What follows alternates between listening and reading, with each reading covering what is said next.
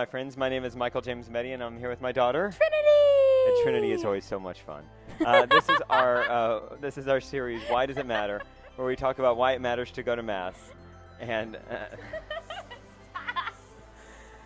she just can't even get a sentence out. She's so happy, so happy to share about the first reading. It's from the book of Jeremiah. Jeremiah has such amazing Bible quotes. Jeremiah is your favorite. Okay, so tell us what, what the first reading uh, talks about this Sunday at Mass. Uh, in the first reading from Jeremiah, it talks about having faith in God and putting our trust in God. And it uses this metaphor of are you a tumbleweed or are you a tree? And are you a tumbleweed with no water and no food source? And you're. Are you like a bush out in the desert Mhm. that, that has that just is you know if it's a rain it gets water if there's no rain then it dies.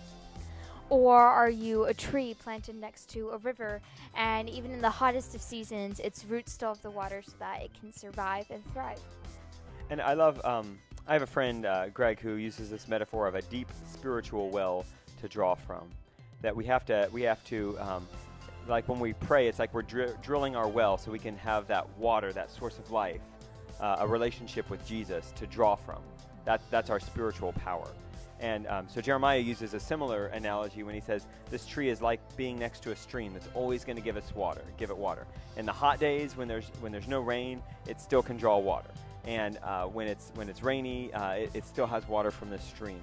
And I think that that's um, one of the reasons why I love being Catholic, is that we have this liturgical tradition that trains us and reminds us to pray regularly, to pray no matter how we feel.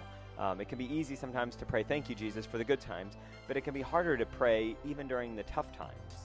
Um, and but the thing that I found in my life is that it's during the tough times that's when God is uh, is challenging you and changing you on the inside. He's calling you to deeper love, to deeper conversion, to deeper trust in Him. That um, that God doesn't instantly, you know, like wave His God wand and make you patient. You know, uh, if if you like God, many people say, you know, I wish I was more patient. Man, I wish I was more patient. Well, guess what? God's going to give you opportunities to be patient. He doesn't just like say, "Bam, you are patient now." Um, and so we can always look for those opportunities to trust and to grow in that. And so if you're suffering right now, if there's if there's tough times at school or at home or with your family or you know whatever, um, use those. God is giving you these opportunities to show your trust, to show where your hope lies, where your treasure is. Um, and so uh, use those opportunities to grow closer to Him. And so this reading reminds us to put our faith and our hope and our trust in God. Let Him take the reins, He'll take care of it. Let go and let God, right? Exactly. Very good. Well, make sure you go to Mass this Sunday. Go to Mass. Go with God.